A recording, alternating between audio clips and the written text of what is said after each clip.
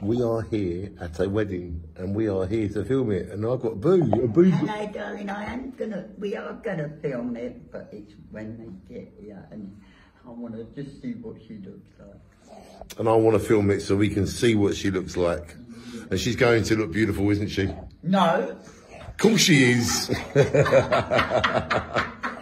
Ladies and gentlemen, we are here to film a lovely, lovely wedding. And we, she is going to look so beautiful, isn't she, Boo? no, She's only joking, aren't you, Boo? no. She is totally joking. She doesn't mean this, you know. She is going to look absolutely beautiful, isn't she, Boo? yes, Daddy.